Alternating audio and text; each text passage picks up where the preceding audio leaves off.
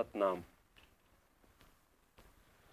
So, as before, let's start with going through the word, the spelling of the word, the background, the origin of the word itself. In Sanskrit, there are two very similar sounding words. One is Sat, and the other one is Satya.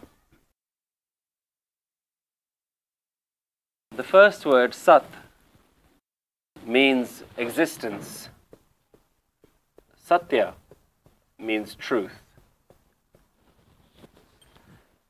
Sat being that which exists, that which is here and now, that which is beyond past, the present, the future, it's all encompassing.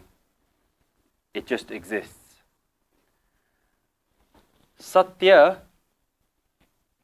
is truth, and that means anything that is permanent or unchanging. To understand the difference, science is the pursuit of facts and truth, and art is the pursuit of existence. Art aims to personify that which exists. Science aims to look at facts, that which is always true and is always permanently true. In Satnam, it means both. It means truth and it means existence. The word Sat in Satnam means both. The spelling includes the first Sat, but it also includes a Sihari in there. That's to include Satya. So sometimes in Bani, a Sihari has been added to indicate that the word comes from somewhere else, or to shorten the full word being Satya to shorten it, Bani has just put a Sihari to indicate that it comes from Satya, a longer word. Because of this spelling, all the translations only refer to this that Satnam, his name is true, or his name is truth. But they miss out this interpretation of Sat from Sanskrit. And this is the one that is very interesting his name is existence. And we'll go into both of those as well. The other thing to look at is Naam has an onkar underneath it.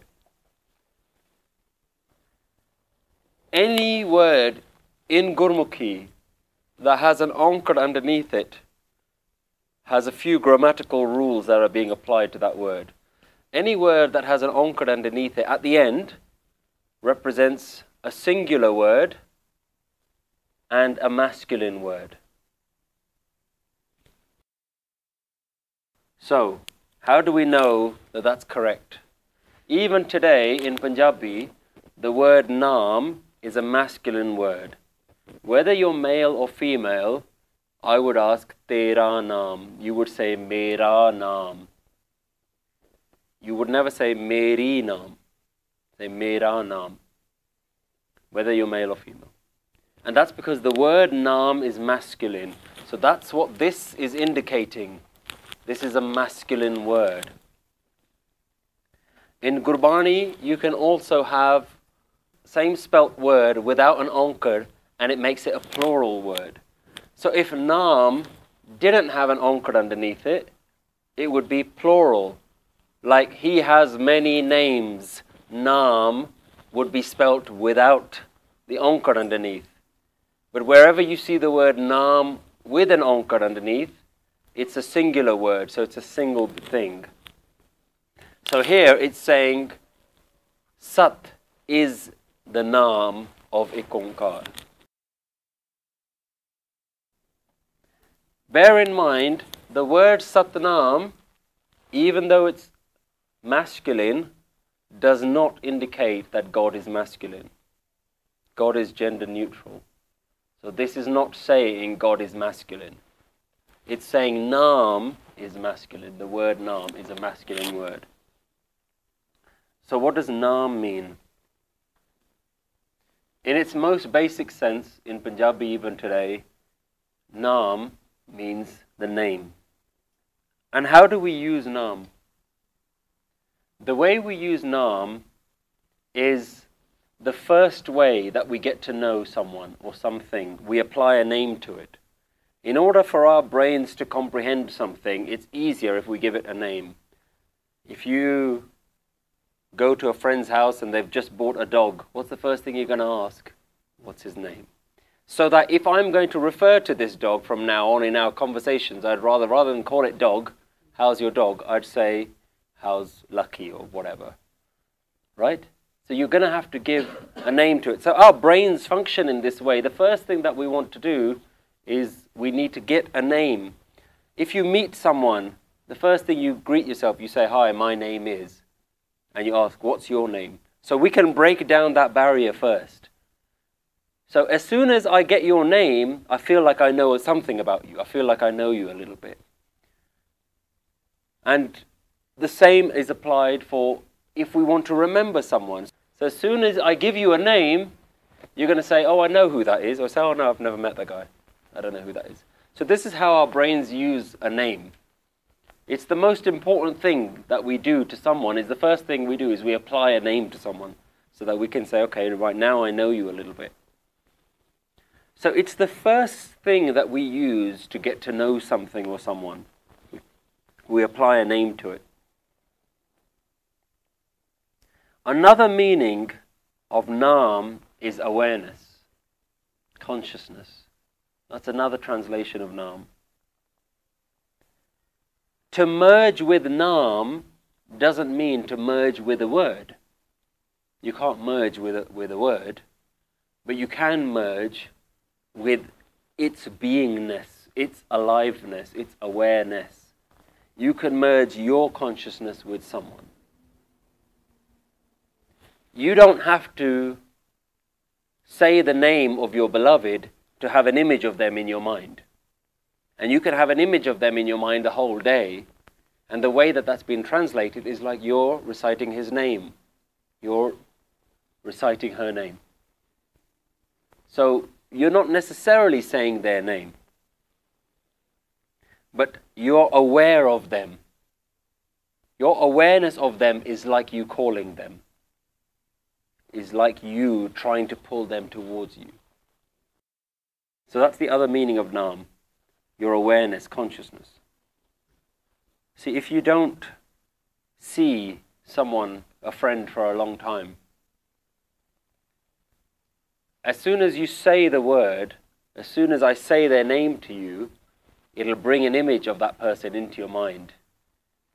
And as soon as I say their name to you, all your emotions associated with that person are also brought to life. So Nam is very powerful. I just have to say the name of someone, and everything that you know about that person, everything you like about that person, everything you dislike about that person will immediately come up. The same applies for someone that you don't like. I just have to say their name, and if I say the name of someone that you really don't like, it changes the chemistry within your body. And all the, the wrong chemicals start getting released, and you're like, oh, I don't like that person, and you get angry and you get tense. And all I've done is just said their name. I've just literally said their name, and all of a sudden you have this huge reaction within you because all of your associations are pinned on their name. So, name is a very powerful thing. So, what is Bani trying to say with Satnam? Why is this the next word? We covered what ik is, it's all oneness, it's all together. There is no you and me, there's no duality. It comes in the very primal form of Omkar, the very root of all creation, even though everything might look different, at the root of everything, they're all the same vibration, Omkar. Why Satnam next? What does Satnam mean? What Guru Nanak Dev Ji is trying to do here is say this oneness, if you're going to give it a name, Sat is its name. There's no other real name that I can give you. Because if you say, okay, you've told me about this oneness, you've told me that it's in the form of vibration, what should I call it? What name should I give it? And Guruji is saying that Sat is its name. Existence is its name. All that exists is its name. If you want to call it something, call anything and you'll be calling the oneness. Say any word and it becomes alive. Say anything and it's there. That oneness is a part of everything. That truth that will never change is its name. And what it's saying is there's no other word that you can apply that will accurately give it a name. What name do you give the oneness?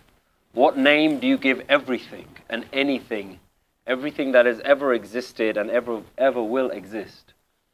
What name can you apply to that? That's all encompassing. Guru Nanak Dev Ji is saying there's no name I can give you. Everything that is, is its name. Its permanent nature is its name. It just is.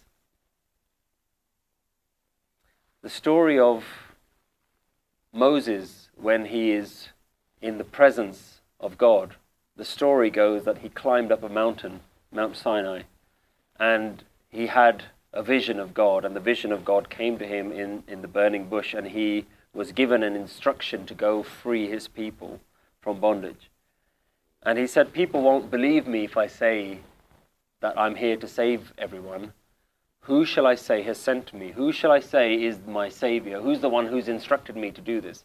And the response that God gives is say, I am. I am has sent you. I am what I am. And that's the only name that God can say, I don't know what name you want me to give you, because I am what I am. This is what it is.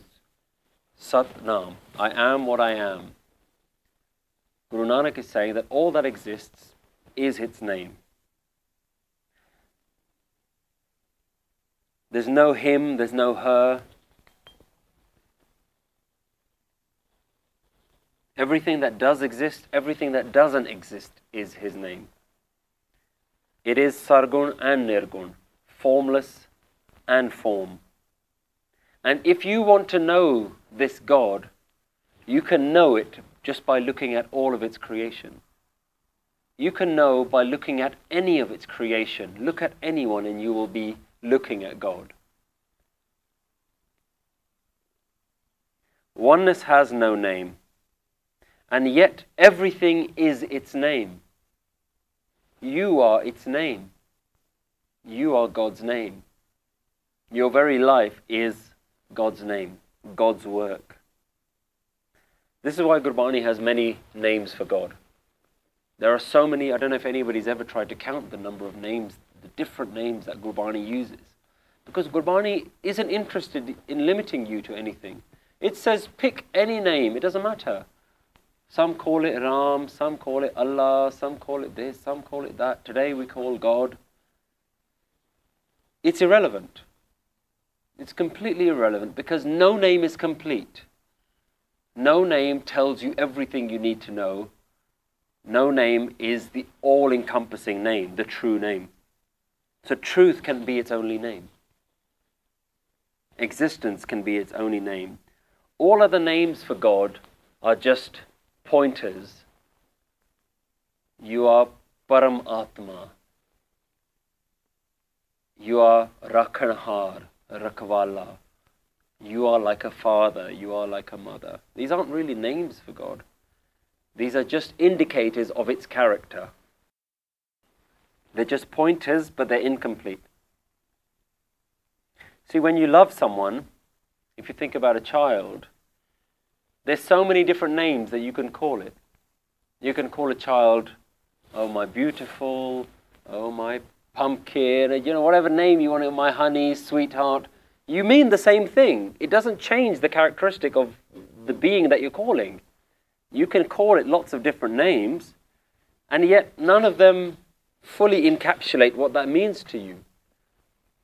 Even if you call your son or your daughter or your, your beloved by their name, the name in itself doesn't even begin to describe what that person is to you. There's just a couple of letters on a page. So the word itself doesn't completely describe. So this is why names are limited. And Guru Nanak Dev Ji is acknowledging this by saying Sat is its naam. But even though names are so limited, just remembering their name will bring up all the emotions that you have for that person. If I say to you the name of your child or your beloved or your best friend, it'll bring up all of those emotions. So names are very limited, but yet they're so powerful at the same time. And even though it brings the emotions of what you associate with that person, it doesn't represent that person or that being in its entirety. And if you take the word love, for example, the word love doesn't even begin to describe the experience of love. It doesn't even begin to describe what the emotion of love is. So words can be very limited, but then as soon as you say love, only somebody who's experienced it will know what you mean. And in the same way, whatever word for God somebody uses doesn't mean anything. But as soon as you've known God, every name for God becomes beautiful. And this is why Gurbani can use so many names for God. Because in any language, any name for God brings the bhagat into must. The saint will go into a, a tranquility, a trance, just by hearing any name for God. Why? Because names are so powerful. You say the word of God, you say the name of God, and it brings up all of my experience of it, and then the saint goes into a trance. So this is why, the, this is the, the sort of the, the dichotomy of name. It's useless and completely meaningless on one hand, and on the other side, it's the most powerful thing as well. So Gurbani is saying that if you want to know God, I can't really give you a real name. So I can tell you that everything is its name. In Jaap Sahib, in the first verse, it says, Tav Sarab Naam Kathe Kavan. All of your names, Tav Sarab Naam Kathe Kavan. Who can describe all of your names? Karam Naam Barnat Sumat. I can only name your deeds. Karam Naam, if you give me the understanding. Barnat Sumat. So I can name, so Jaap Sahib isn't naming God, because Guruji says it isn't the name of God. There are too many names for God. How can one write down all of your names? It's not possible. And interestingly, Jaap Sahib ends at 199 verses. And in Islam, there are 99 names for God. And there's a reason. Why does Sahib end at 199? Why does Islam stop at 99? Guru Gobind Singh Ji could easily have rounded it up to 200 verses. But in the one missing verse, he gives you a clue. That in that one missing verse, that's his real name. No matter how many words I try to say, there's always one word that cannot be said. There's always his real name that cannot be spoken.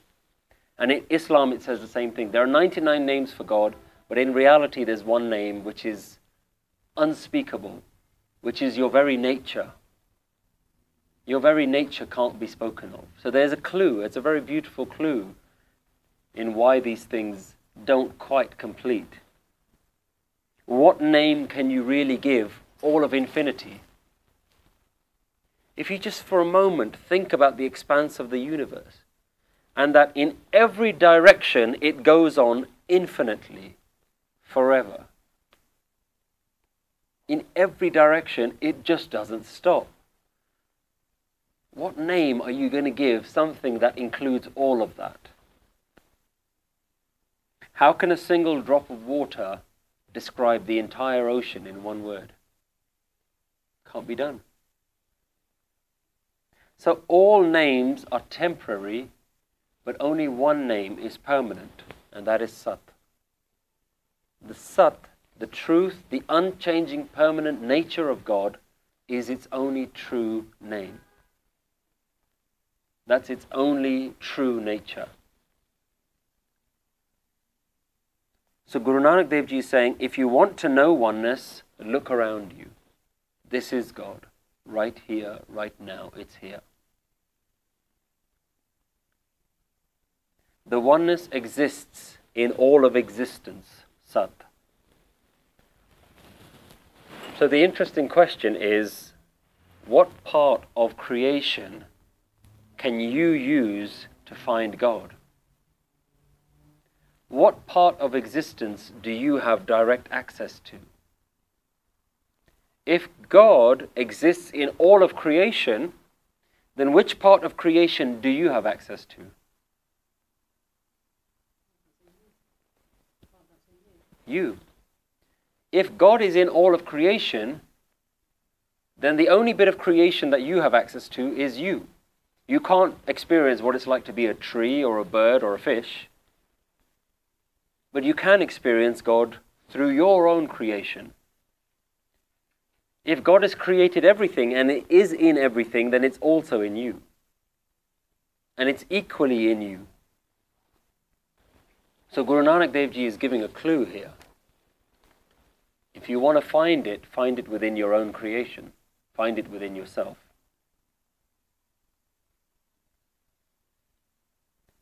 And if creation and existence is its name, then its name is within you as well. You are its name. You are God's name. Your very being here, being alive, being a part of creation, is part of Him. You are God.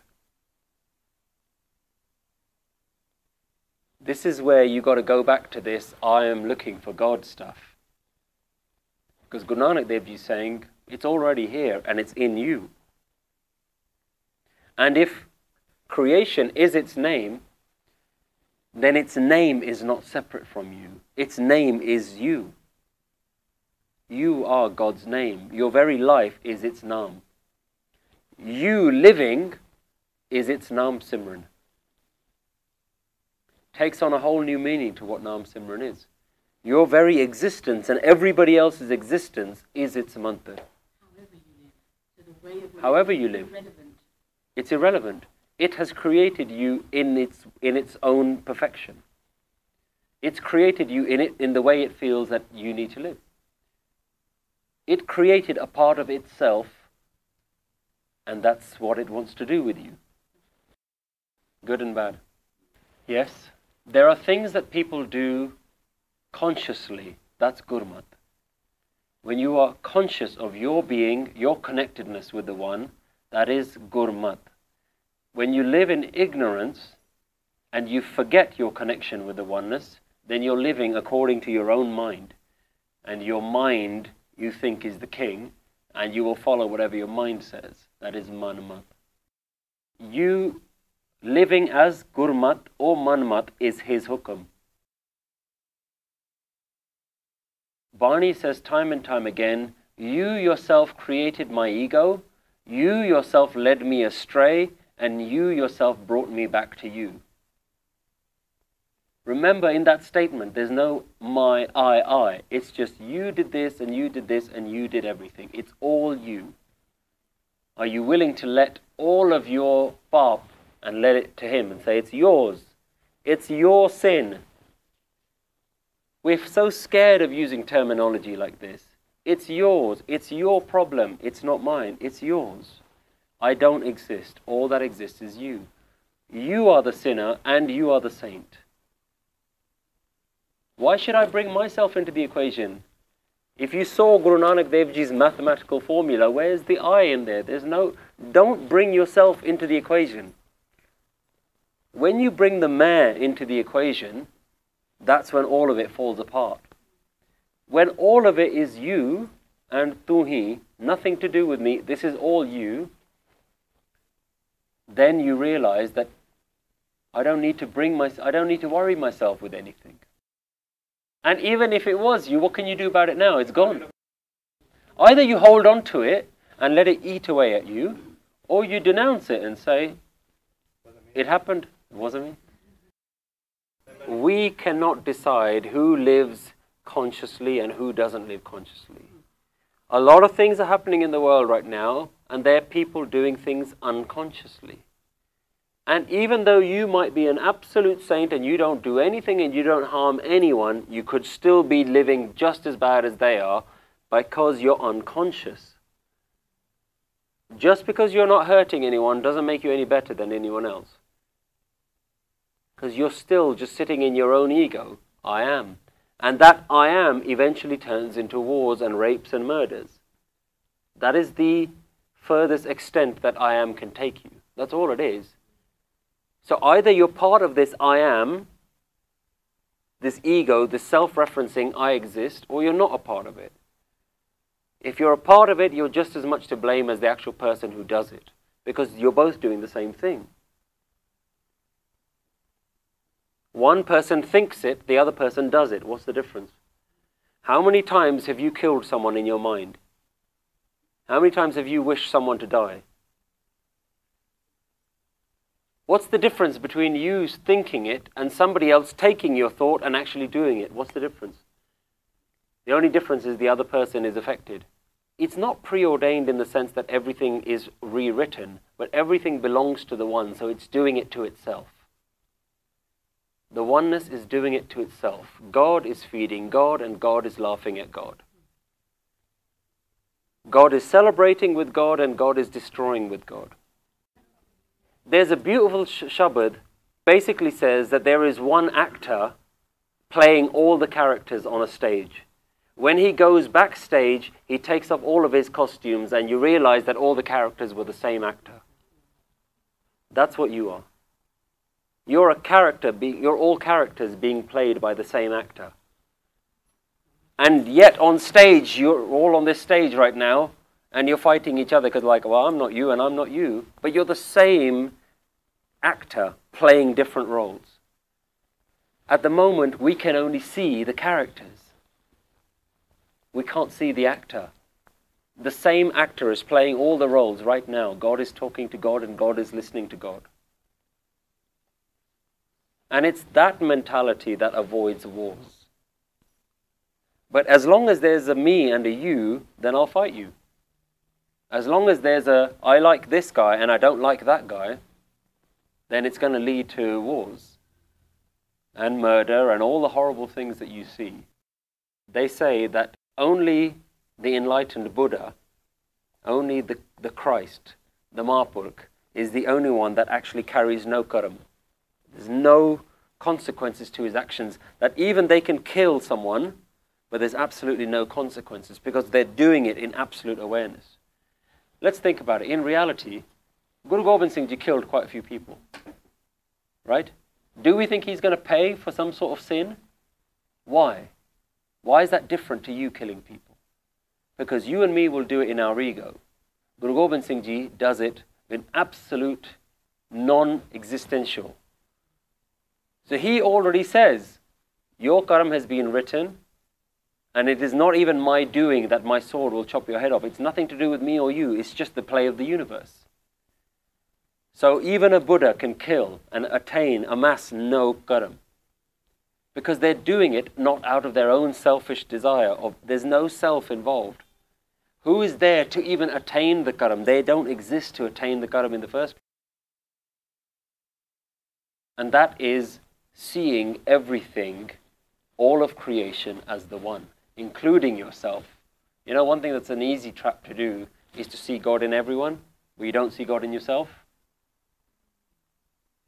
You can see God and you can say, oh, this is God, this is God, this is God, Waheguru, why grew, Waheguru. And you can get to, you know, a pretty good state of mind. Yeah, I'm very good. But you never look within yourself. What's the point? You've missed it. You've completely missed the trick. Human beings are extremely tribal in our nature. And this is what we do we aim to mold ourselves into any tribe that we, that we belong to or any tribe that we surround ourselves with. So if 10 people are doing something, eventually you're going to do it because you're just with them all day, every day. So when Bani recognizes that this is the human nature, Bani's saying, well, why don't you choose who the right people are that you're going to hang around with? If you're going to hang around with murderers, nine times out of ten, you're going to turn out into one of them. If you're going to hang around with people who are doing vichar, who are doing bani, who are meditating, then nine times out of ten you're going to turn into one of those as well. Bani says, Murak nalna lujiye, do not associate with the fools.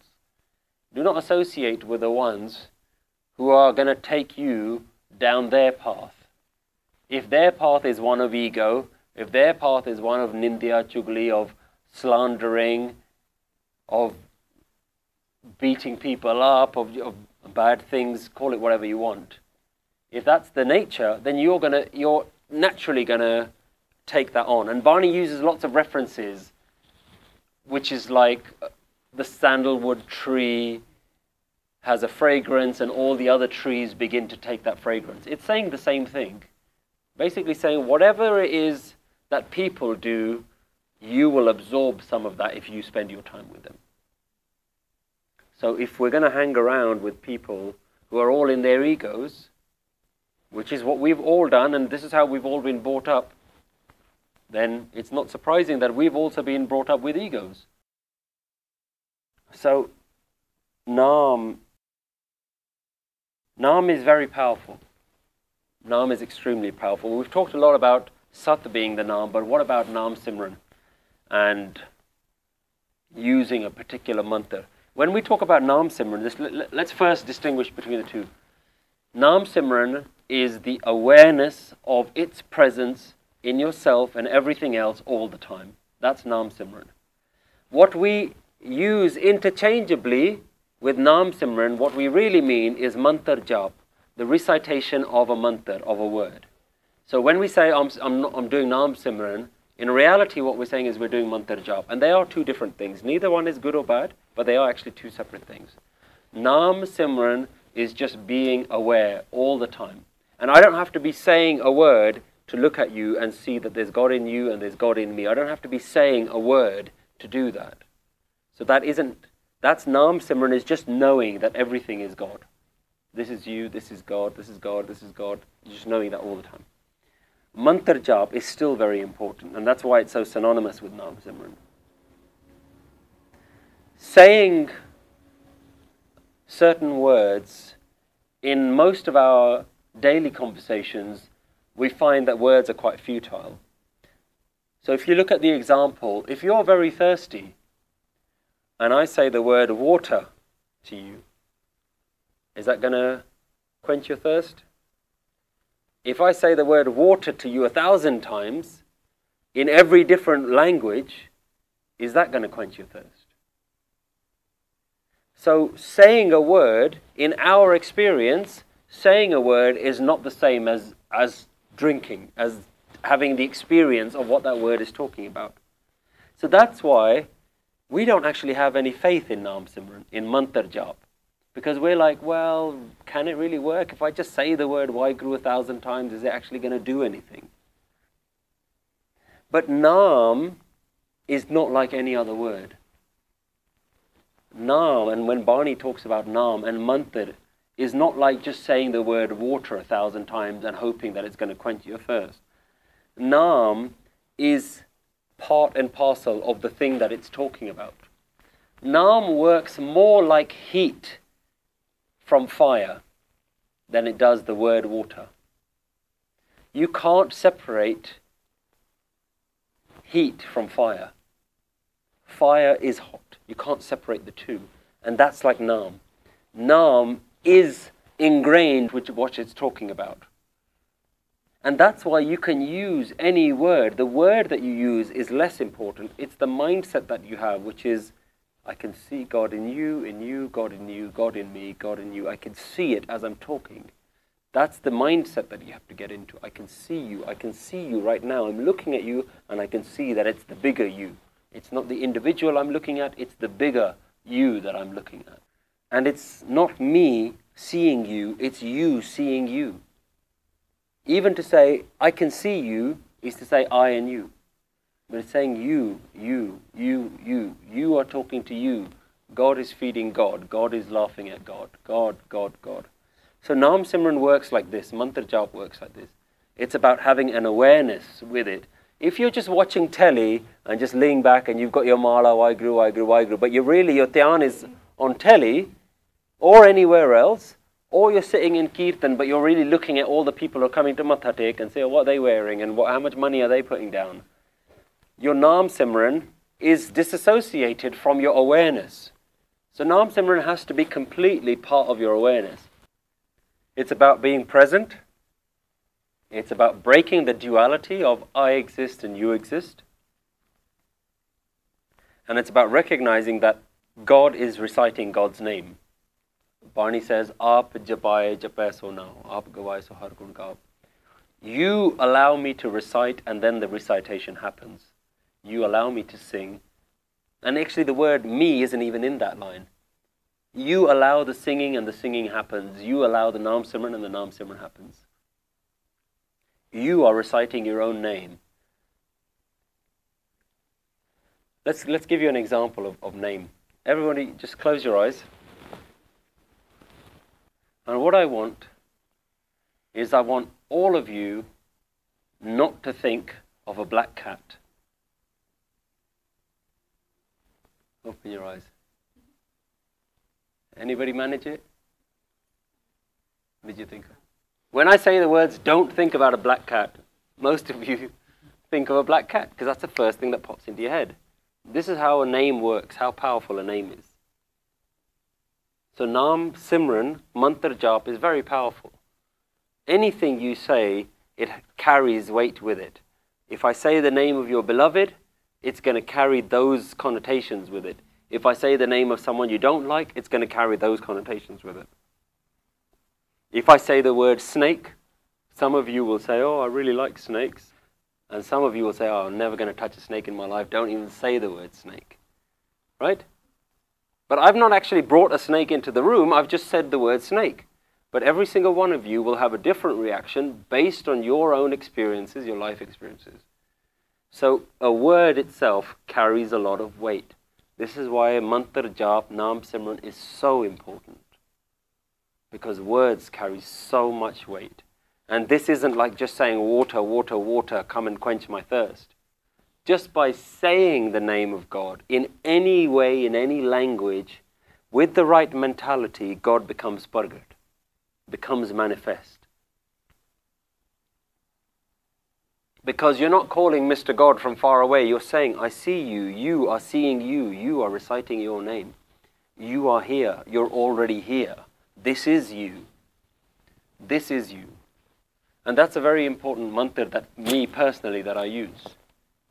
Rather than actually using a word, the mantra that I use is this is you. When I open my eyes, everything I see is you. When I close my eyes, the one doing it is you. All that there is is you. The one saying it is you. So to me personally, I use this is you. Not that I am you, or you are here, or you are me, or you are mine, because I don't want to bring in me. This is you right now, right here, right now. This is you doing it. And I take no credit for it. I don't exist.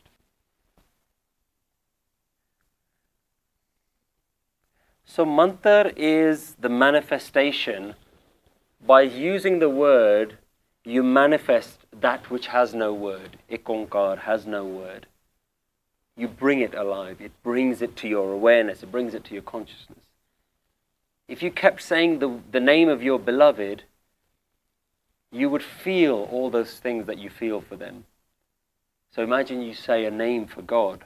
Eventually, it starts becoming that. We are just talking about Kabir ji has a shabad. तू तू करता तू हुआ मुझ में रहा न हूँ तू तू by saying तू तू you you you all the time I became you you became me मुझ में रहा न हूँ nothing was left of me तू तू by saying तू ही तू ही तू ही तू ही you you you you became present and everything that was in me disappeared. Jab apa parka mit gaya jat dekha tat When the veil of separation between me and everybody else was dropped, then everything I saw is you. Everything I see is you. So this is the power of saying Nam, of saying a mantra, of reciting it again and again. Does anyone do Kundalini Yoga? Have you ever done the Kirtan Kriya? What do you use? What mantra do you use for that? Satanama, Satanama. So there's a Kundalini Kriya called Kirtan Kriya, where you're sitting and you're reciting Satanama. First you do it with your, with your tongue, you say it out loud. The second one you whisper, Satanama, Satanama. The third one, you just recite it in your head. And then you go back to, to saying it out loud. You know, it only gives you the first three stages. Out loud, it gives you whispering, it gives you the silent remembering, but there's a fourth stage that Harbhajan Singh Yogi couldn't give you. Satanama out loud, whisper, and the silent within your mind. But there's a fourth stage which is beyond Nam. And that's the one that can't be given to you, that's the one that has to come out from you itself. So it's a very beautiful Kriya if you ever get a chance to do it, Kirtan Kriya. There are three stages to it, but there's actually a fourth stage. But that one, even Yogiji can't give that to you. Nobody can give you that last final name. And the same applies to Nam Simran. Some people say do Nam Simran from your word. Some people say it comes from your from your nabi, from your um, belly button upwards. And you've got to recite it with each breath. Some people say Sata as you're going out, or Wahe as you're going out, and Guru as you're breathing in, or the other way around. And all of these are fantastic techniques. But know that these are more sort of superficial techniques. The whole point ultimately However you do it, the whole, whole point ultimately is the awareness is awoken. And when you open your eyes, that Nam Simran is going on. Again, with, with different yoga, Kundalini yoga and others, uh, have you ever tried to do a, a mantra har? You're just doing har, har, har. Have you ever tried doing that? What happens when you stop doing it? It carries on, right?